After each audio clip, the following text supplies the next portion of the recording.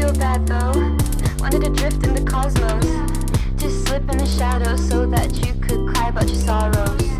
What about our pleasures? Just sharing so many treasures.